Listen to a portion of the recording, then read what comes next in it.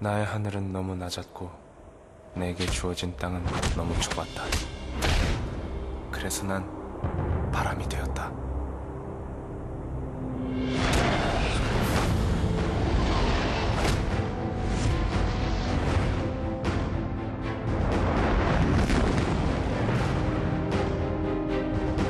오선진 도모노 하이큐효가 기사마노 이노지오리고 조선이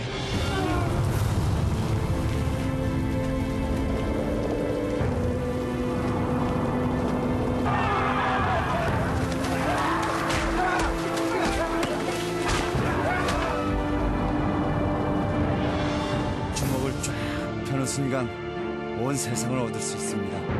무술을 가르쳐줘. 힘없는 정의는 무능력이고 정이 없는 힘은 폭력일 뿐입니다.